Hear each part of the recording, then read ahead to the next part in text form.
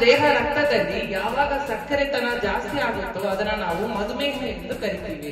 ಅದು ಯಾವಾಗ ನಮ್ಮ ಬಾಡಿಯಲ್ಲಿ ರಕ್ತದಲ್ಲಿ ಜಾಸ್ತಿ ಆಗುತ್ತಲ್ಲ ಅದನ್ನ ನಾವು ಡಯಾಬಿಟಿಸ್ ಮಲೈಟಿಸ್ ಹಾಗೂ ಮಧುಮೇಹ ಎಂದು ಕರಿತೀವಿ. ಇದಕ್ಕೆ ಏನೇನು ತಿನ್ಬೇಕು ಏನೇನು ತಿನ್ಬಾರ್ದು ಅಂತ ನನಗೆ ತಿಳಿಸ್ಕೊಡ್ತೀನಿ. ಸಾಮಾನ್ಯವಾಗಿ ಮಾನಸಿಕ ಒತ್ತಡ ಜಾಸ್ತಿ ಆದ್ರೆ ಇದು ಆಗತ್ತೆ. ವ್ಯಾಯಾಮ ಏನು ಮಾಡ್ತಾ ಇದೆಯಾ ಇಲ್ಲ? ಇಲ್ಲ ಡಾಕ್ಟ್ರೇ. ಏ ಏನಪ್ಪ ನೀನು? ಸಣ್ಣ ಗಾಯ ಇತ್ತು ಅದಕ್ಕೆ ಗುಳಿಗೆ ತಗೊಂಡು ಹಾಕಿ ಒಳ್ಳೆ ವ್ಯಾಯಾಮ ಮಾಡಿದ್ರೆ ಸರಿ ಹೋಗ್ತಾ ಇತ್ತು. ಈಗ ನೋಡು ದೊಡ್ಡ ಭೂತ ತರ ಆಗಿದೆ. ನಾವು ಇದಕ್ಕೆ ಆಂಪುಟೇಷನ್ ಅನ್ನ ಸರ್ಜರಿ ಮಾಡ್ಬೇಕಾಗತ್ತೆ. ಆಂಪುಟೇಷನ್ ಅಂದ್ರೆ ಶಸ್ತ್ರಚಿಕಿತ್ಸೆಯಿಂದ ಕಾಲನ್ನು ತೆಗೆಯುವ ಒಂದು ಪ್ರೊಸೀಜರ್ ಇದನ್ನ ಮಾಡಿ ನೀನು ಕಾಲನ್ನು ತೆಗಿಬೇಕಾಗತ್ತೆ. ಶ್ವಾಸ ಇರುವವರೆಗೂ ಜನರ ವಿಶ್ವಾಸವನ್ನು ಜನಸ್ನೇಹಿ ಎಂದಿಗೂ ಕಳೆದುಕೊಳ್ಳುವುದಿಲ್ಲ.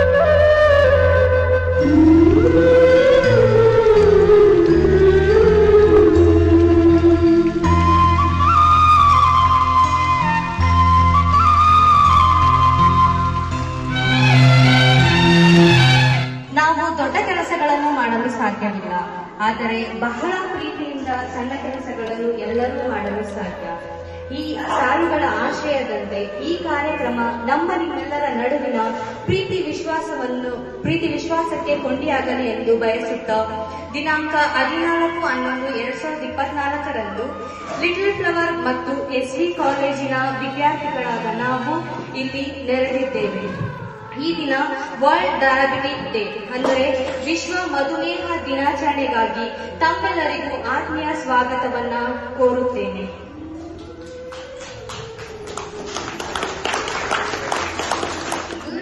very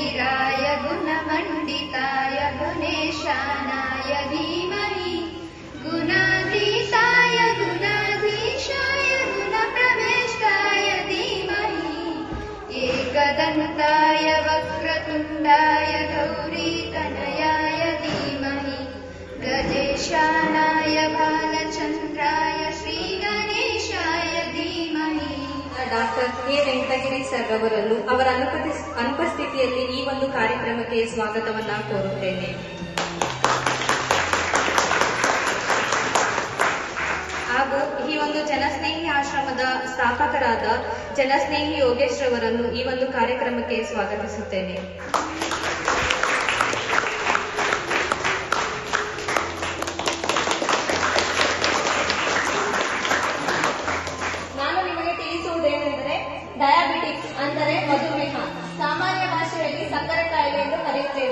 ಮಧುಮೇಹದಿಂದ ಬಳಲುತ್ತಿರುವ ಜನರಲ್ಲಿ ಜಾಗೃತಿ ಮೂಡಿಸುವ ಸಲುವಾಗಿ ಪ್ರತಿ ವರ್ಷ ನವೆಂಬರ್ ಹದಿನಾಲ್ಕರಂದು ವಿಶ್ವ ಮಧುಮೇಹ ದಿನವನ್ನು ಆಚರಿಸುತ್ತೇವೆ. ಈ ದಿನ ಮಧುಮೇಹಕ್ಕೆ ಕಾರಣಗಳು ಮತ್ತು ಮಧುಮೇಹವನ್ನು ಕಡಿಮೆ ಮಾಡಲು ಪರಿಹಾರಗಳ ಬಗ್ಗೆ ಜನರಲ್ಲಿ ಮೂಡಿಸಲು ಬಂದಿದ್ದೇನೆ. ವಿಷಯ ಒಂದು ತಂದೆ ಮಗಳ ಸನ್ನಿವೇಶ.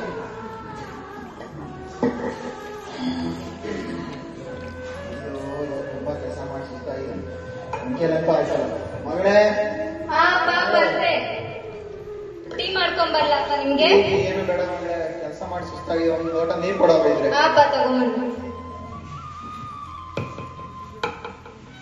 ಹಾ ತಗೊಳ್ಳಿ ನೀರು.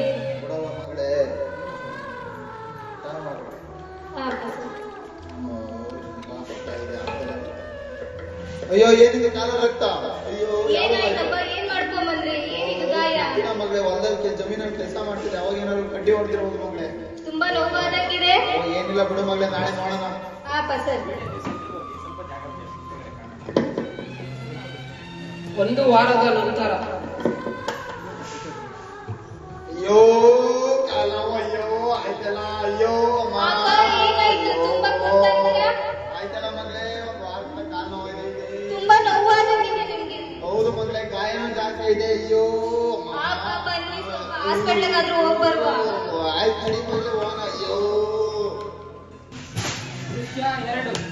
ಅಯ್ಯಯ್ಯೋ ಅಯ್ಯೋ ಅಯ್ಯೋ ಆಯ್ತಲ್ಲ ಕಾಲು ಅಯ್ಯೋ ಡಾಕ್ಟ್ರೇ ಅಯ್ಯೋ ಅಲ್ಲ ಅಯ್ಯೋ ಅಯ್ಯೋ ವಾರದಿಂದ ಕಾಲು ಡಾಕ್ಟ್ರೆ ಗಾಯ ಆಯ್ತು ಅಯ್ಯೋ ಜಮೀನ ಕೆಲಸ ಮಾಡಕ್ ಹೋಯ್ತೆ ಡಾಕ್ಟ್ರೆ ಅಯ್ಯೋ ಆಯ್ತಲ್ಲ.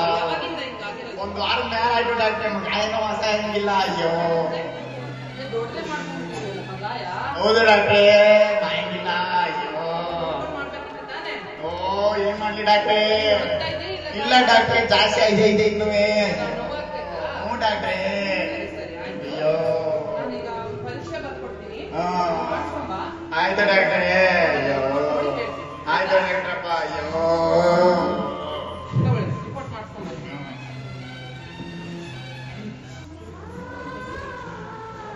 ಅಯ್ಯೋ ಅಯ್ಯೋ ಕಾಲು ಅಯ್ಯೋ ಕಾಲಿಡಕ್ಕಾಯ್ತಲ್ಲ ಡಾಕ್ಟ್ರೇ ಅಯ್ಯೋ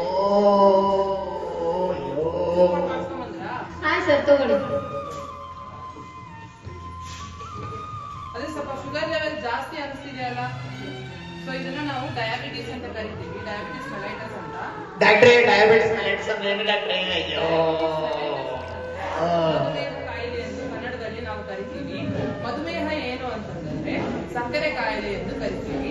ಸಕ್ಕರೆ ಕಾಯಿಲೆ ಅಂದ್ರೆ ನಮ್ಮ ದೇಹ ರಕ್ತದಲ್ಲಿ ಯಾವಾಗ ಸಕ್ಕರೆತನ ಜಾಸ್ತಿ ಆಗುತ್ತೋ ಅದನ್ನ ನಾವು ಮಧುಮೇಹ ಎಂದು ಕರಿತೀವಿ. ಅದು ಯಾವಾಗ ನಮ್ಮ ಬಾಡಿಯಲ್ಲಿ ರಕ್ತದಲ್ಲಿ ಜಾಸ್ತಿ ಆಗುತ್ತಲ್ಲ ಅದನ್ನ ನಾವು ಡಯಾಬಿಟಿಸ್ ಮೆಲೈಟಸ್ ಹಾಗೂ ಮಧುಮೇಹ ಎಂದು ಕರಿತೀವಿ. ಇದು ಸಾಧಾರಣವಾಗಿ ವೃದ್ಧರಲ್ಲಿ ಹಾಗೂ ಚಿಕ್ಕ ಮಕ್ಕಳಲ್ಲಿನೂ ಕಂಡುಬರಬಹುದು ಇದಕ್ಕೆ ಏನೇನು ತಿನ್ಬೇಕು, ಏನೇನು ತಿನ್ಬಾರ್ದು ನನಗೆ ತಿಳಿಸ್ಕೊಡ್ತೀನಿ.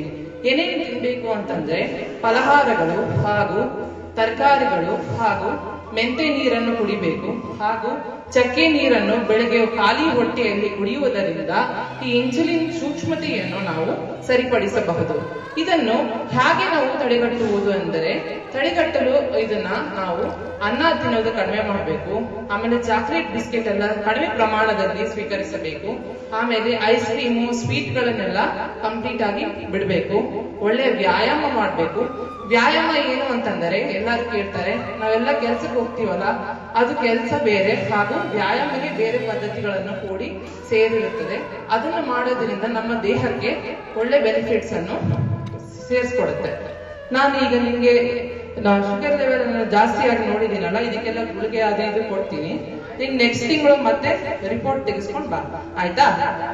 ದೃಶ್ಯ ಮೂರು. ಇವಾಗ ಬಂದ್ರಾ? ಹಾ ಇವಾಗ ಬಂದೆ. ಸರಿ, ಆಯ್ತು. ಈ ಶಿಲ್ಪ ಏನಾಯ್ತು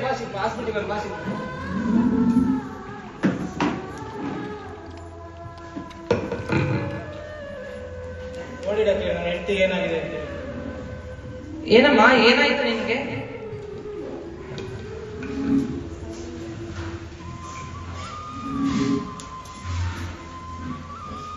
ಯಾವಾಗಿಂದ ಹಿಂಗಾಯ್ತು? ಡಾಕ್ಟರ್ ನೆನ್ನೆಲ್ಲ ಚೆನ್ನಾಗಿದೆ ಬೆಳಗ್ಗೆ ತಿಂಡಿ ಬಂದು ಮಾತಾಡ್ತಿದ್ದಾಗ ಏನಮ್ಮ? ಏನಾಗ್ತಿದೆ ನಿನಗೆ? ಹೌದಾ? ಏನೇನ್ ಲಕ್ಷಣಗಳು ಕಂಡು ಬರ್ತಿದೆ ನಿನಗೆ ಹೌದಾ? ಕೆಲಸ ಮಾಡಿದ್ರೆ ತುಂಬಾ ಬಾಡಿ ಪೇನ್ಸ್ ಬರುತ್ತಾ ನಿನಗೆ? ಇನ್ನ ಕಣ್ಣೆಲ್ಲ ಮಂಜಾಗುತ್ತಾ? ಏನಾದ್ರೂ ಗಾಯ ಆಗಿದ್ರೆ ಒಣಗ್ತಾ ಇದೆಯಾ ಸರಿಯಾಗಿ? ಹೌದಾ? ನಾವು ಇದಕ್ಕೆ ಒಂದು ರಿಪೋರ್ಟ್ ಮಾಡಿಸ್ತೀನಿ. ಆ ರಿಪೋರ್ಟ್ ಬಂದ್ಮೇಲೆ ನಾನು ನೋಡಿ ಹೇಳ್ತೀನಿ ಆಯ್ತಾ? ತಗೊಳ್ಳಿ ರಿಪೋರ್ಟ್ ಮಾಡಿಸ್ಕೊಂಡ್ ಬನ್ನಿ. ಅಯ್ಯೋ ಶುಗರ್ ಲೆವೆಲ್ ಜಾಸ್ತಿ ಇದೆಯಲ್ಲಮ್ಮ? ಇದು ಡಯಾಬಿಟಿಸ್ ಮೆಲೈಟಿಸ್ ಅಂತ ಕರಿತೀವಿ. ಇದು ಮಧುಮೇಹ ಎಂದು ಕರೆಯಲಾಗುತ್ತೆ. ಹಾಗೂ ಸಕ್ಕರೆ ಕಾಯಿಲೆ ಎಂದು ಕರಿತೀವಿ. ಇದು ಜಾಸ್ತಿ ಯಾಕಾಗತ್ತೆ ಅಂತಂದ್ರೆ, ಸಾಮಾನ್ಯವಾಗಿ ಮಾನಸಿಕ ಒತ್ತಡ ಜಾಸ್ತಿ ಆದರೆ ಇದು ಆಗತ್ತೆ. ಹಾಗೂ ಸಕ್ಕರೆ ಪದಾರ್ಥಗಳನ್ನು ಹೆಚ್ಚಾಗಿ ಸೇವಿಸುವುದರಿಂದ ಇದು ವ್ಯಾಧಿ ಕಂಡು ಬರುತ್ತದೆ. ಆಮೇಲೆ ಕೊಬ್ಬಿನ ಅಂಶ ಸೇರಿದ ಊಟಗಳನ್ನು ತಿನ್ನೋದ್ರಿಂದ ಈ ವ್ಯಾಧಿ ಏರ್ಪಡುತ್ತದೆ. ಆಮೇಲೆ ಅಧಿಕ ರಕ್ತ ಒತ್ತಡದಿಂದ ಈ ವ್ಯಾಧಿ ಕಾಣ್ಬರುವುದು. ಸರಿನಾ? ನೀ ಏನಾದ್ರೂ ಇದು, ಐ ಬಿ ಗೆ ಮಾತ್ರ ತಗೊಂತಾ ಇದೀಯಾ ಎಷ್ಟು ವರ್ಷದಿಂದ ತಗೊಂತಾ ಇದೀ ಹೌದಾ? ಹಾಗಾದ್ರೆ ಇದು ಸ್ವಲ್ಪ ನೀನು ಇದಕ್ಕೂ ಗುಳಿಗೆ ತಗೋಬೇಕಾಗತ್ತೆ. ಗುಳಿಗೆ ತಗೊಂಡ್ರೆ ಸರಿ ಹೋಗುತ್ತಮ್ಮ. ಇದಕ್ಕೆಲ್ಲ ಸ್ವಲ್ಪ ವ್ಯಾಯಾಮಗಳು ಹಾಗೂ ಆಹಾರ ಪದ್ಧತಿಗಳನ್ನ ನೀವು ಚೇಂಜ್ ಮಾಡ್ಬೇಕಾಗತ್ತೆ. ಏನೇನ್ ತಿನ್ಬೇಕು, ಏನೇನ್ ತಿನ್ಬಾರ್ದು ಅನ್ನೋದು ನಾನು ಇನ್ನೊಮ್ಮೆ ಮತ್ತೆ ತಿಳಿಸ್ಕೊಡ್ತೀನಿ. ಅಕ್ಕಿಗಳ, ಅಕ್- ಮತ್ತೆ ಅನ್ನ, ಅವಲಕ್ಕಿ ಹಾಗೂ ಬೆಳ್ಳಗಿನ ಪದಾರ್ಥಗಳನ್ನು ಕಡಿಮೆ ಆಗಿ ಸೇವಿಸಬೇಕು. ಆಮೇಲೆ ಏನೇನು ತಿನ್ಬೇಕು ಅನ್ನೋದು ನಾನು ಹೇಳ್ತೀನಿ. ಹಣ್ಣು, ತರಕಾರಿ, ಸೊಪ್ಪು, ಮೆಂತೆ ನೀರನ್ನು ನೆನೆಸಿಟ್ಟು ಬೆಳಗ್ಗೆ ಕುಡಿಯುವುದು ಹಾಗೂ ಮಜ್ಜಿಗೆಯಲ್ಲಿ ಕೊತ್ತಂಬರಿ ಸೇರಿಸಿಟ್ಟು ತಗೊಳ್ಳೋದು, ಇದೆಲ್ಲ ಒಳ್ಳೆ ಆಹಾರ ಪದ್ಧತಿಗಳು. ಹಾಗೂ ವ್ಯಾಯಾಮವನ್ನು ಡೈಲಿ ನಾವು ಒನ್ ಅವರ್ ಅಟ್ಲೀಸ್ಟ್ ಮಾಡಬೇಕು. ಇದು ಮಾಡುವುದರಿಂದ ನಮ್ಮ ದೇಹಕ್ಕೆ ಅಧಿಕ ಒಳ್ಳೆ ಲಾಭಗಳನ್ನು ತಂದುಕೊಡುತ್ತದೆ. ಆಯ್ತಮ್ಮ ಇದಕ್ಕೆಲ್ಲ ಒಳ್ಳೆ ಉಡುಗೆಗಳನ್ನು ಬರ್ಕೊಡ್ತೀನಿ. ತಗೊಳೋದ್ರಿಂದ ಸರಿ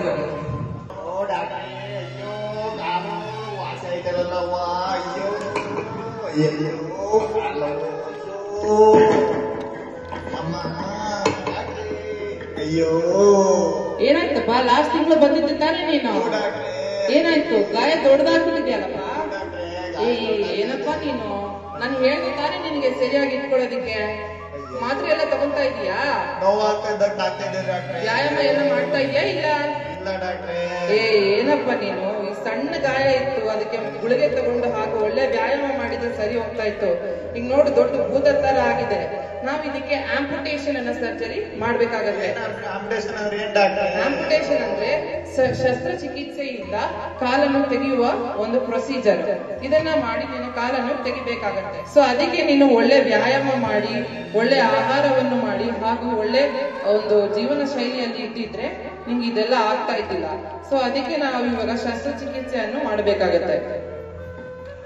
ಅಯ್ಯೋ ಆಗ್ತಲ್ಲ ಡಾಕ್ಟ್ರೆ, ಏನ್ ಮಾಡ್ಲಿ? ಇರೋಳೊಬ್ಳು ಮಗ ಮದುವೆ ಮಾಡ್ಬೇಕು. ಅಯ್ಯೋ ಆಗ್ತಲ್ಲ ಡಾಕ್ಟ್ರೆ, ಏನಾರು ಮಾಡಿ ಡಾಕ್ಟ್ರೆ ನಾನು ಆಗ್ಲೇ ಹೇಳಿದೆ ನಿನಗೆ ಇದು ಮಾತ್ರೆಯಿಂದ ಹಾಗೂ ಒಂದು ವ್ಯಾಯಾಮ ಮಾಡುವುದರಿಂದ ಇದನ್ನ ತಡೆಗಟ್ಟಬಹುದಾಗಿತ್ತು. ಆದರೆ ನೀನೀಗ ಅದನ್ನ ದೊಡ್ಡದನ್ನ ಮಾಡ್ಕೊಂಡಿದ್ದಿ, ಅದಕ್ಕೆ ನಾವು ಇದರ ಶಸ್ತ್ರಚಿಕಿತ್ಸೆ ಮಾಡಿ ಕಳುಹಿಸಬೇಕು. ಹೌದಾ ಡಾಕ್ಟ್ರೆ? ನಮ್ಮ ಪ್ರಾಣ ಕಟ್ ಮಾಡೋ ಪರವಾಗಿಲ್ಲ. ನಮ್ಮ ಪ್ರಾಣ ಉಳಿಸ್ಕೊಡಿ ಡಾಕ್ಟ್ರೆ. ಆಯ್ತಪ್ಪ, ಈಗ ಶಸ್ತ್ರಚಿಕಿತ್ಸೆ ಮಾಡಿ ನನ್ನ ಪ್ರಾಣವನ್ನು ಉಳಿಸ್ಕೊಡ್ತೀವಿ. ಸೊ ಅದಕ್ಕೆ ಎಲ್ಲರೂ ನೀವೆಲ್ಲರೂ ನೋಡಿದ್ರಲ್ಲ, ಇಲ್ಲಿ ಎರಡು ಸಮಸ್ಯೆಗಳನ್ನು ನಾವು ನೋಡಿದ್ವಿ.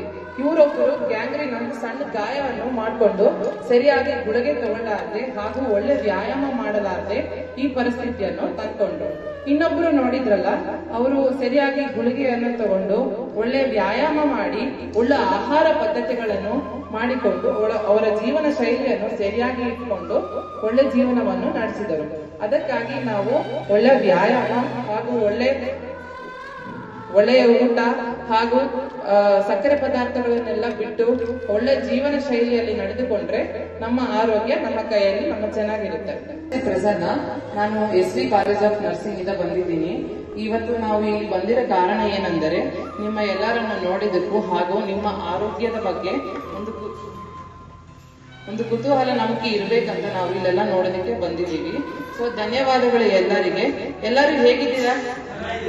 ಎಲ್ಲ ಊಟ ಎಲ್ಲ ಸರಿಯಾಗಿ ಮಾಡ್ತಾ ಇದ್ದೀರಾ? ಎಲ್ಲ ಟ್ಯಾಬ್ಲೆಟ್ಸ್ ಎಲ್ಲ ಸರಿಯಾಗಿ ತಗೊಂತಾ ಇದ್ದೀರಾ? ಓಕೆ ಎಲ್ಲ ವ್ಯಾಯಾಮನೂ ಮಾಡಬೇಕು. ನೀವು ದಿನಾಲು. ಓಕೆನಾ ಥ್ಯಾಂಕ್ ಯು ವಿಶೇಷವಾಗಿ ಇವತ್ತು little flower S V college ವತಿಯಿಂದ ಇವತ್ತು ಎಲ್ಲ ಸ್ಟೂಡೆಂಟ್ಸ್ ಇವತ್ತು ಈ ಒಂದು ಸ್ಥಳಕ್ಕೆ ಬಂದಿರೋದು ಬಹಳ ಖುಷಿ ಆಗ್ತಾ ಇದೆ. ದಯವಿಟ್ಟು ಎಲ್ಲರೂ ಒಂದ್ಸತಿ ಜೋರಾಗಿ ಕ್ಲಾಸ್ ಮಾಡಿ ಅವ್ರಿಗೆ. ಬಂದಿರೋ ಉದ್ದೇಶ ಒಂದೇ. ನಿಮ್ಗೆಲ್ಲರಿಗೂ ಆರೋಗ್ಯದ ಬಗ್ಗೆ ಅರಿವು ಮೂಡಿಸೋದಕ್ಕೆ ಜೊತೆಗೆ ಆಶೀರ್ವಾದ ಪಡೀಲಿಕ್ಕೆ ದಯವಿಟ್ಟು ಎಲ್ಲರೂ ಕೂಡ ಕೈನ ಮುಂದೆ ಚರ್ಚೆ ಒಳ್ಳೇದಾಗ್ಲಿ.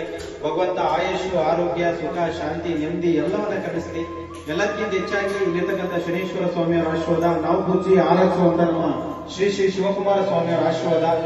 ಅದೆಲ್ಲದಕ್ಕಿಂತ ಹೆಚ್ಚಾಗಿ ನಿಮ್ಗಳ, ಅಂದ್ರೆ ದೇವರ ಮಕ್ಕಳ ಆಶೀರ್ವಾದ. ಎಲ್ರಿಗೂ ಸಿಗ್ಲಿ, ನೀವು ಮಾಡುವಂತ ಪ್ರಯತ್ನ ಮತ್ತೆ ನೀವು ಮಾಡುವಂತ ಸಂದೇಶದಿಂದ ಒಂದಷ್ಟು ಜನರ ಮನಸ್ಸು ಪರಿವರ್ತನೆ ಆಗಲಿ ಅಂತ ಮನಸ್ಫೂರ್ತಿಯಾಗಿ ಬೇಡ್ಕೊಳ್ತೀನಿ. ತುಂಬಾ ಖುಷಿ ಆಯ್ತು ನೀವು ಇವತ್ತು ಇಲ್ಲಿ ಬಂದಿದ್ದು. ಸೊ ಈ ಆಶ್ರಮದ ಬಗ್ಗೆ ಎಷ್ಟು ಜನಕ್ಕೆ ಮುಂಚೆಯಿಂದಾನೇ ಗೊತ್ತಿದೆ? ಕೈ ಎತ್ತಿ ಬರ ಅಜ್ಜಿ, ನಿನಗೆ ಗೊತ್ತು ಬಿಡ ಅಜ್ಜಿ. ನನ್ನ ಡಾರ್ಲಿಂಗ್ ಅಲ್ವಾ? ಗೊತ್ತು ಅಜ್ಜಿ. ಎಷ್ಟು ಜನಕ್ಕೆ ಗೊತ್ತು ಎಷ್ಟು ಜನಕ್ಕೆ ಗೊತ್ತಿಲ್ಲ. ಗೊತ್ತಿಲ್ಲ ಅಲ್ವಾ ಎಷ್ಟೋ ಜನಕ್ಕೆ? ಸೊ ಈ ಆಶ್ರಮ ಬಂದ್ಬಿಟ್ಟು ನಾವು ಬೋರ್ಡ್ ಹಾಕಿದೀವಿ, ಅನಾಥಾಶ್ರಮ ಅಂತ. ವಿಧಿ ಇಲ್ಲ. ಯಾಕೆಂತ ಹೇಳಿದ್ರೆ ಇಲ್ಲಿ ನಾವು ಬೀದಿಯಲ್ಲಿ ಅನಾಥರಾಗಿ, ನಿರ್ಗತಿಕರಾಗಿ, ರಸ್ತೆಯಲ್ಲಿ ಮಲಗುವಂತ ವ್ಯಕ್ತಿಗಳನ್ನ ಕರ್ಕೊಂಡು ಬರ್ತಾ ಇದೀವಿ. ಬಟ್ ಅವ್ರು ಯಾರು ಅನಾಥರು ಅಂತ ನಾವು ನೋಡ್ಕೊಳ್ತಾ ಇಲ್ಲ. ಯಾರು ಇಲ್ಲದವ್ರಿಗೆ ನಾವಿದೀವಿ ಅನ್ನೋ ಒಂದು ಭರವಸೆ ಮೂಡಿಸುವಂತ ಕೆಲಸ. ಜೊತೆಗೆ ನೀವೆಲ್ರಿಗೂ ಒಂದು ಅನ್ಸಿರುತ್ತೆ. ನೀವೆಲ್ಲ ಸ್ಟೂಡೆಂಟ್ಸ್ ಆಗಿರೋದ್ರಿಂದ, ಚೆನ್ನಾಗಿ ಓದಿರೋದ್ರಿಂದ, ನಾನು ಎಷ್ಟು ಓದಿರ್ಬೋದು? ಹೇಳ್ಬೋದು ಅಂತ ಯಾರಾದ್ರೂ? ನನ್ನ education ಎಷ್ಟಿರ್ಬೋದು degree next degree sir S L C ಆಮೇಲೆ? ಮೇಡಮ್ ನೀವು? ಎಷ್ಟು ಹೇಳ್ಬೋದು S L C seventh fail ಏಳನೇ ಕ್ಲಾಸ್ ಫೇಲ್ ಸೊ ವಿದ್ಯೆ ಅನ್ನೋದು ಒಳ್ಳೆ ಕೆಲಸ ಮಾಡೋದಕ್ಕೆ ಮುಖ್ಯ ಆಗಲ್ಲ. ವಿದ್ಯೆ ಬೇಕು ನಿಜ, ವಿದ್ಯೆ ಜೊತೆಗೆ ಸಂಸ್ಕಾರ ಅನ್ನೋದು ಬಹಳ ಮುಖ್ಯ ಆಗುತ್ತೆ. ಯಾರಾದ್ರೂ ಆಗಿರ್ಲಿ, ನಾವ್ ಎಷ್ಟು ಓದಿದ್ವಿ, ಎಷ್ಟು ಬುಕ್ಸ್ನ ಓದಿದ್ವಿ, ಎಷ್ಟು ವಿದೇಶಗಳಲ್ಲಿ ಹೋಗಿ ಎಷ್ಟು ಸ್ಯಾಲ್ರಿ ತಗೊಳ್ತಿದೀವಿ ಅನ್ನೋದು ಬಹಳ ಇಂಪಾರ್ಟೆಂಟ್ ಏನಲ್ಲ. ನಾವು ಇರೋ ಜಾಗದಲ್ಲಿ ಎಷ್ಟು ನೆಮ್ಮದಿಯಾಗಿದ್ದೀವಿ, ನಮ್ಮ ತಂದೆ ತಾಯಿನ ಎಷ್ಟು ಪ್ರೀತಿಯಿಂದ ನೋಡ್ಕೊಳ್ತಾ ಇದ್ದೀವಿ, ಹೊರಗಡೆ ಆಗ್ದಂಗೆ ತಂದೆ ತಾಯಿನ ಗೌರವದಿಂದ, ಪ್ರೀತಿಯಿಂದ, ಕಾಳಜಿಯಿಂದ ನಾವು ಕೃಷ್ಣನ ಕೊಡ್ಬೇಕು ಅಂತ ಏನಿಲ್ಲ. ಅಂಬ್ಲಿ ಕೊಟ್ಟರು ಪರವಾಗಿಲ್ಲ, ನಮ್ಮ ಕೈಲಾದಷ್ಟು ನೋಡ್ಕೋಬೇಕು ಅನ್ನೋದು ನನ್ನ ಮೂಲ ಉದ್ದೇಶ. ಹಾಗಾಗಿ ಇವತ್ತು ಎಲ್ಲರೂ ಅನ್ಕೊಂಡಿರ್ತಾರೆ ಯೋಗೇಶ್ ಒಂದು ನೂರ್ ಮೂವತ್ತು, ನೂರ್ ನಲ್ವತ್ತು ಜನರನ್ನ ಇಲ್ಲಿ ನೋಡ್ಕೊಳ್ತಾ ಇದ್ದಾರೆ ಅಂದ್ರೆ, ಮೋಸ್ಟ್ಲಿ ಅವರಿಗೆ ಗೌರ್ಮೆಂಟ್ ಫಂಡ್ ಬರುತ್ತೆ ಫಾರಿನ್ ಫಂಡ್ಸ್ ಬರುತ್ತೆ, ಕಂಪ್ನಿಗಳು ಸಹಾಯ ಮಾಡ್ತಾರೆ ಅಂತ. ನಿಜ ಹೇಳ್ತಾ ಇದ್ದೀನಿ, ನೀವೆಲ್ಲ ಸ್ಟೂಡೆಂಟ್ಸ್ ಆಗಿರೋದ್ರಿಂದ ನಿಮ್ಗೆಲ್ಲ ಅರ್ಥ ಆಗ್ಲಿ ಅಂತ. ಫೈವ್ ಹಂಡ್ರೆಡ್ ರುಪೀಸ್ ಕೂಡ ಯಾವುದು ಫಂಡ್ ಬರೋದಿಲ್ಲ. ಆದ್ರೆ ಈ ಆಶ್ರಮ ನಡೆಯುತ್ತೆ. ಹೇಗೆ ಅಂದ್ರೆ ಕರ್ನಾಟಕದಲ್ಲಿರ್ತಕ್ಕಂಥ ಎಲ್ಲ ಜನರ ಆಶ್ರಮ ನಾವು ಮಾಡುವಂತ ಪ್ರತಿಯೊಂದು ಕೆಲಸಕ್ಕೆ ಸಪೋರ್ಟ್ ಮಾಡ್ತಾ ಇರೋರು ರೇಷನ್ ಮೆಡಿಸಿನ್ಸ್ ಎಲ್ಲ ಕಳಿಸ್ಕೊಡ್ತಾ ಇರೋದು ಕನ್ನಡಿಗರು. ಅದು ಕನ್ನಡಿಗರಲ್ಲಿ ಯಾರು ಅಂದ್ರೆ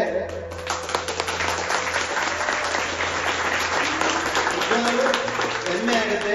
ಟ್ಯಾಕ್ಸಿ ಓಡಿಸೋರು ಆಟೋ ಓಡಿಸೋರು ಗಾರ್ಮೆಂಟ್ಸ್ ಅಲ್ಲಿ ಕೆಲಸ ಮಾಡೋರು, ಸಣ್ಣ ಪುಟ್ಟ ಕೂಲಿ ಕೆಲಸ ಮಾಡೋರಿಂದನೇ ಇವತ್ತು ಜನಸ್ನೇಹಿ ಆಶ್ರಮದಲ್ಲಿರೋ ಬರೋಬ್ಬರಿ ನೂರ್ ಮೂವತ್ತು ಜನ ಊಟ ಮಾಡ್ತಿದ್ದಾರೆ.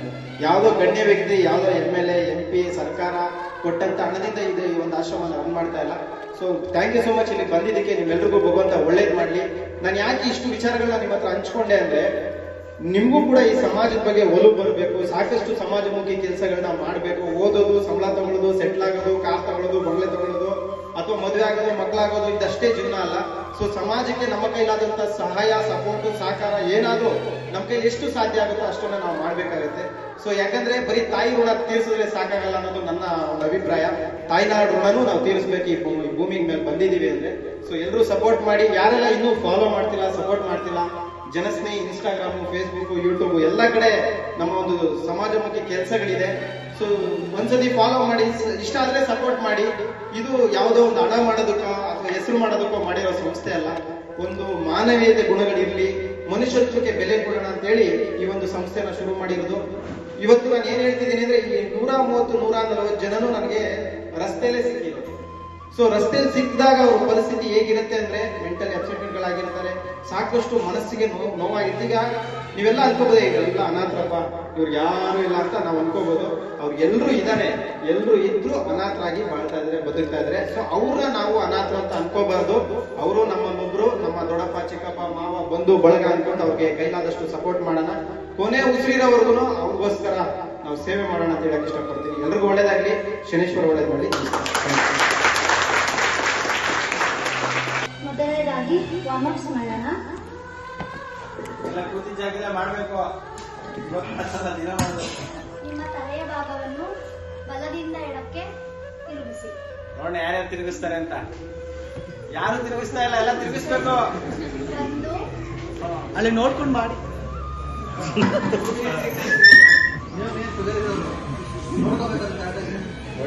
ಅವ್ರು ಯಾರು ಆಕ್ಟಿಂಗ್ ಚೆನ್ನಾಗಿ ಮಾಡಿದ್ರ ಹುಡುಗ. ಚೆನ್ನಾಗಿ ನೋಡು. ಇಲ್ಲಿ ರಕ್ತ ಕೇಳಿದ್ರೆ ಜ್ಞಾಪಕಗಳು ಮಾಡ್ತಾರೆ ಒಳ್ಳೇದಾಗಿ ಯಾರಿಗೆ ಗೊತ್ತು? ಯಾರ್ಯಾರ ಅದೃಷ್ಟ ಹೆಂಗ್ ಬದಲಾಗುತ್ತೋ ಕಲಾಧಾರೆ ಯಾರು ಬಲಿತಾರೋ, ಕಲಾ ಸರಸ್ವತಿ ಯಾರು ಬಲಿತಾರೋ ಯಾವ್ಯಾವ ಕ್ಷಣದಲ್ಲಿ ಯಾರ್ಯಾರ ಭವಿಷ್ಯ ಹೆಂಗ್ ಬದಲಾಗುತ್ತೆ ಅಂತ ಗೊತ್ತಿಲ್ಲ. ಒಳ್ಳೇದಾಗಿ ಬೆಳಿತಾರೆ ಮುಂಚೆ? ಹೋಗಿ ಅಜ್ಜಿ ಆಶೀರ್ವಾದ ಕೊಡ್ಕೊಳ್ಳಿ ಡಾಲಿ ಒಂದು ಆಶೀರ್ವಾದ ಮಾಡ್ಬಿಡೋ. ಹುಡುಗ ಚೆನ್ನಾಗಿ ನೋಡ್ಕೊಂಡು ಅಂತಲ್ಲ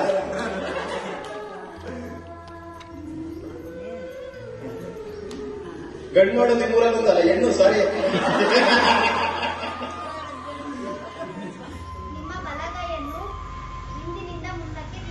ನಿಧಾನ ನಿಧಾನಕ್ಕೆ. ಟೇಬಲ್ ಕೊಡ್ಕೋಬೇಡಿ ನಿಧಾನಕ್ಕೆ ತಾತ ಇವಾಗ.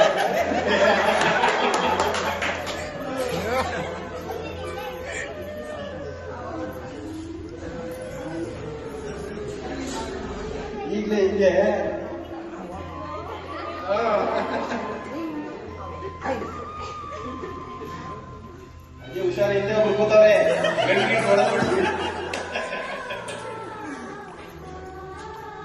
ದಿನ ನೀವು ಮಾಡ್ತೀರಾ? ಸುಳ್ಳು ಹೇಳ್ಬಿಡಿ ಪ್ರಾಮಾಣಿಕವಾಗಿ ಹೇಳಿ? ಪ್ರಾಮಾಣಿಕವಾಗಿ ಹೇಳ್ಬೇಕಿದಿಲ್ಲ ದಿನ ಮಾಡ್ತೀರಾ? ಇಲ್ಲ ತಾನೇ. ನಿಮ್ಮ ಸೊಂಟವನ್ನು ಬಲದಿಂದ ಎಡಕ್ಕೆ ತಿರುಗಿಸಿ.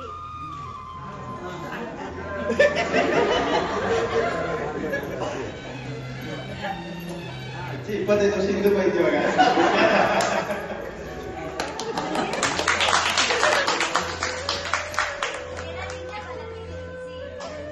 ಯಾರ ಅಜ್ಜಿ ವಯಸ್ಸಾಗಿದೆ ಇದು ಜೋರ ಕ್ಲಾಸ್ ಮಾಡಿ ನಿಮ್ಗಿಂತ ಚೆನ್ನಾಗಿ ಸಿಗುತ್ತಾವ ನಿಮ್ಗೆ ಬರ್ತಾ ಇಲ್ಲ.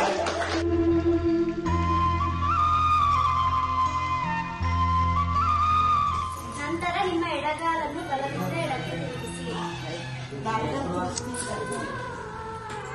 ಪರ್ವತಾಸನ ಎಲ್ಲ ಕೈ ಎತ್ತಿ ಮೇಲೆ.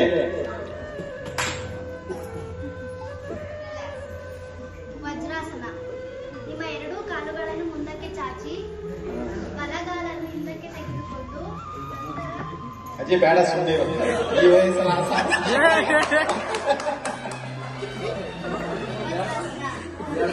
ಎರಡು ಕಾಲನ್ನು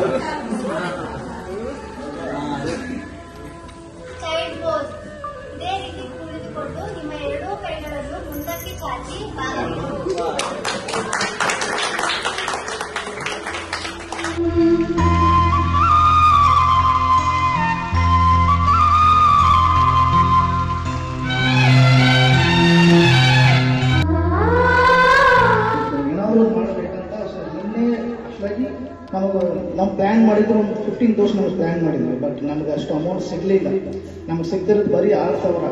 ನಿನ್ನೆ ನಂತರ ಕಟ್ಟರೆ ಗೊತ್ತಿಲ್ಲ, ನಿನ್ನೆ ಸಂಜೆ ಎಂಟು ಗಂಟೆ ತನಕ ನಮ್ಮ ಹತ್ರ ಇದ್ದಿರೋದು ಬರೀ ಆರೂವರೆ ಸಾವಿರ ಅಷ್ಟೇ. ನೈಟ್ ಕುತ್ಕೊಂಡು ಎಲ್ಲರೂ ಚೆನ್ನಾಗಿ ಕೇಳಿ ಒಬ್ಬೊಬ್ಬರ ಹತ್ರ ಕೇಳಿ ಅವರು ಕೆಲವರು ಹಂಗೆ ನಮ್ಗೆ ಹೆಲ್ಪ್ ಮಾಡಿದ್ರು. ಸೊ ಆಮೇಲೆ ನಮ್ಮ ಕಾಲೇಜಿಂದ ಸ್ವಲ್ಪ ಅಮೌಂಟ್ ಕೊಟ್ಟು ಸ್ವಲ್ಪ ರೆಡಿ ಮಾಡಿ, ನಿನ್ನೆ ರಾತ್ರಿ ಎಂಟೂವರೆಗೆ ಅರ್ಚಿತಾ ಮ್ಯಾಮ್ ಮತ್ತೆ ಸುರೇಶ್ ಸರ್ ಇಬ್ಬರು ಹೋಗಿ ಮತ್ತೆ ನಮ್ಗೆ ಬರೀ ಸ್ನಾಕ್ಸ್ ಮಾಡಿ ಕೊಡು ಸರಿಯಾಗಿಲ್ಲ ಅಂತ ಟವಲ್ ಕೊಡ್ಬೇಕು. ಮೀನ್ಸ್ ಏನೋ ಒಂದು ಕೊಡ್ಬೇಕಂತ ಸಾರ್ ಐಡಿಯಾ ಕೊಡಿ ಸೊ ಅವಾಗ ಏನ್ ಮಾಡ್ಬೇಕಂತ ಮೀನ್ಸ್ ಒಂದು ಐದು ಅಲ್ಲಿ ಕೇಳಿದ್ವಿ ಬಟ್ ನಮ್ಗೆ ಅಷ್ಟು ಕ್ವಾಂಟಿಟಿ ಸಿಗ್ಲಿಲ್ಲ. ಅಷ್ಟು ಜನ ಸಿಗ್ಲಿಲ್ಲ. ಸೊ ನಿನ್ನೆ ರಾತ್ರಿ ಅರ್ಚಿತಾ ಮ್ಯಾಮ್ ಮತ್ತೆ ಸುರೇಶ್ ಸರ್ ಇಬ್ಬರಿಗೂ ನಾನು ನಾನು ಹೋಗಿಲ್ಲ ನನ್ನ ಸೈಡ್ನ ಥ್ಯಾಂಕ್ಸ್ ಹೇಳ್ಕೊಡ್ತೀನಿ. ನೀವು ಒಂದ್ಸತಿ ಥ್ಯಾಂಕ್ಸ್ ಹೇಳ್ಬಿಡಿ ಅವರಿಗೆ. ಯಾಕಂದ್ರೆ, ಆ ನೈಟ್ ಏಯ್ಟ್ ತರ್ಟಿಗೆ ಎರಡು ಬಾಕ್ಸ್ನ ಎಲ್ಲಿಂದ ಮಾರ್ಕೆಟ್ ಹೋಗಿದ್ದಾರೆ ಮಾರ್ಕೆಟ್ ಹೋಗಿ ಅಲ್ಲಿಂದ ತಗೊಂಡ್ಬಂದ್ರು ಬಟ್ ಅದನ್ನ ಅವರು ಬರೀ ಟೂ ವೀಲರ್ ತಗೊಂಡ್ಬಂದ್ರು. ನಾವಿಬ್ರು ಅದು ಎತ್ಕೊಂಬ ಎತ್ಕೊಂಬರಕ್ಕೆ ಆಗಿಲ್ಲ ಟೂ ವೀಲರ್ ತಗೊಂಡ್ಬಂದ್ರು. ಸೊ ಅದು, ಮತ್ತೆ ಥರ ಒಂದು ಪ್ಲ್ಯಾನ್ ಬಂದು ಮಾಡಿದ್ವಿ ಸರ್. ಬಟ್ ನಾವು ಎಷ್ಟು ಹಿಂಗೆ ಇಷ್ಟು ಜನ ಇದ್ದಾರೆ ಅಂತ ನಮ್ಗೆ ಗೊತ್ತಿರಲಿಲ್ಲ. ಬಟ್ ಜನ ನೋಡುವಾಗ ತುಂಬ ಖುಷಿಯಾಗಿತ್ತು ನಮಗೆ. ಬಟ್ ಸಾರ್ ಬಗ್ಗೆ ಹೇಳ್ಬೇಕಂದ್ರೆ ಸರ್ ತುಂಬ ಥ್ಯಾಂಕ್ಸ್ ಆಗ್ತದೆ ಪರ್ಮಿಷನ್ ಕೊಟ್ಟಿದ್ದಕ್ಕೆ. ಯಾಕಂದ್ರೆ ಒನ್ ತರ್ಟಿ ಮೆಂಬರ್ಸ್ ನಾವು ಅಷ್ಟು ಯಾರು ಪರ್ಮಿಷನ್ ಸಿಗಲ್ಲ ಥ್ಯಾಂಕ್ ಯು ಸರ್ ಈಗ ಸರ್. ಮತ್ತೆ ಇನ್ನೊಂದು ಮನೆಯಲ್ಲಿ ಒಂದು ನಾಲ್ಕೈದು ಜನ ಇರ್ತಾರೆ. ಆ ನಾಲ್ಕೈದು ಜನರು ಏನೋ ಒಂದು ತಪ್ಪು ಮಾಡಿದ್ದಾರೆ. ಏನೋ ಒಂದು ಪಟ್ಟಣ ಸಿಗ್ಬಂದು ಬಂತು ಸೊ ಅಷ್ಟು ಬ್ಯಾಟ್ ನಾವು ಅದನ್ನ ಇದು ಮಾಡೋಕ್ಕಾಗಲ್ಲ. ಬಸ್ಟ್ ನೂರು, ನೂರ ನೂರ ಮೂವತ್ತು ಜನರು ಅವ್ರನ್ನ ಮೇಂಟೈನ್ ಮಾಡಿ, ಅವ್ರನ್ನ ಅವ್ರ ಫೀಲಿಂಗ್ಸ್ನ ಅರ್ಥ ಮಾಡಿ, ಅವ್ರ ಥಾಟ್ಸ್ನ ಅರ್ಥ ಮಾಡಿ ಎಲ್ಲರೂ ಸೇರಿ ಅವ್ರ ಹತ್ರ ಮಾತಾಡಿ ಈಗ ನೋಡಿದ್ರು ಡಾರ್ಲಿಂಗ್ ಅಂತ ಕರೀತಾರೆ. ಮೀನ್ಸ್ ಅದೆಲ್ಲ ಎಲ್ಲರಿಗೂ ಬರಲ್ಲ. ಸೊ ಅಂತ ಒಂದು ಬಿಹೇವಿಯರ್ನ ಇವಾಗ ಸಾರ್ ಹತ್ರ ಈಗ ನಾನು ಕಲ್ತ್ಕೊಂಡೆ ಅವ್ರಿಗೆ ಹಿಂಗೆ ಮಾತಾಡಬೇಕಂತ ಒಂದು ಏಜ್ ಸೆವೆಂಟಿ ಸೆವೆಂಟಿ ಪ್ಲಸ್ ಆಗ್ಬಿಟ್ರೆ ಮೇ ಬಿ ನಮ್ಗೆ ಇಷ್ಟ ಆಗಲ್ಲ ಅವರು. ಈಗ ಈಗ ಪ್ರೆಸೆಂಟ್ ಜನರೇಷನ್ ಹಂಗೆ ಇರೋದು. ಓಕೆ ಸೊ ಅದಕ್ಕೋಸ್ಕರ ನಾನು ಈಗ ಎಷ್ಟೊಂದು ಜನ ಸ್ಟೂಡೆಂಟ್ಸ್ ಎಲ್ಲ ಬಂದಿದ್ದಾರೆ. ಸ್ವಲ್ಪ ನೋಡ್ಕೊಳ್ಳಿ ಅವ್ರನ್ನ ನೋಡಿ ಅದನ್ನ ಕೇಳ್ಕೊಳ್ಳಿ. ಹೆಂಗೆ ಥರ ನಮ್ಮ ಕೈಂಡ್ ಆಗಿ ಅವ್ರ ಮಾತಾಡಬೇಕು ಸೊ ಅದನ್ನು ನಾನು ಈಗ ಈಗ ಜಸ್ಟ್ ಒಂದು ಫೈವ್ ಮಿನಿಟ್ಸ್ ಮುಂಚೆ ಅವ್ರು ನೋಡಿ, ಅವ್ರು ಮಾತಾಡೋದು ಕೇಳ್ತೀನಿ ನಾನು ಕಳ್ಸ್ಕೊಂಡೆ ಥ್ಯಾಂಕ್ ಯು ಸರ್ ಓಕೆ ಮತ್ತೆ ನಮಗೆ ಇಲ್ಲಿ ಆಪರ್ಚುನಿಟಿ ಕೊಟ್ಟಿರೋ ಮೀನ್ಸ್ ನಮ್ಮ ಸ್ಟೂಡೆಂಟ್ಸ್ಗಾಗಿ ನಮಗೆ ಆಪರ್ಚುನಿಟಿ ಕೊಟ್ಟಿರೋ ನಮ್ಮ ಚೇರ್ಮನ್ ಸರ್ ಡಾಕ್ಟರ್ ವೆಂಕಟೇಶ್ವರ ಅವರಿಗೆ ಮತ್ತೆ ನಮ್ಮ principal ma'am doctor Sneha ma'am ಮತ್ತೆ ಡಾಕ್ಟರ್ ರಂಜು ಸರ್ ಮತ್ತೆ ನಮ್ಮ ಕಾಲೇಜ್ ಮ್ಯಾನೇಜ್ಮೆಂಟ್ ಅವ್ರಿಗೆ ನಮ್ಮ ಕಡೆಯಿಂದ ನಮ್ಮ ಸ್ಟೂಡೆಂಟ್ಸ್ ಕಡೆಯಿಂದ ನಾವು ಥ್ಯಾಂಕ್ಸ್ ಹೇಳ್ತೀವಿ